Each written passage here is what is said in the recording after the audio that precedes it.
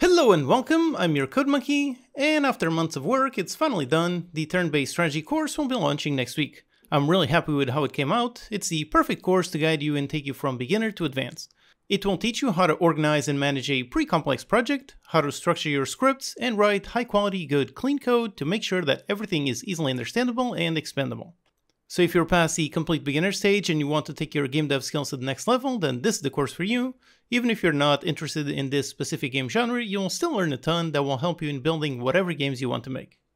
This is definitely my most complex course ever. It took much more work to build than I anticipated, which is why there have been fewer videos these past weeks. So by now I'm completely exhausted, but I really hope you'll like it and I hope it helps you in your game dev journey. This course is in collaboration with GameDev TV and I will be joining their livestream on the 28th to talk about the course and anything else.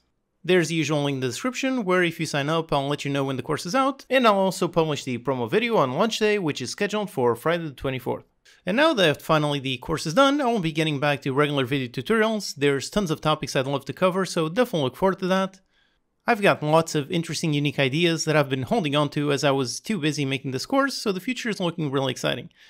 And as always, do post in the comments any suggestions you have, anything specific that you'd like to see, and I'll make sure to add them to the list. Alright, so thanks for watching, stay tuned for the release next week, and I'll see you next time.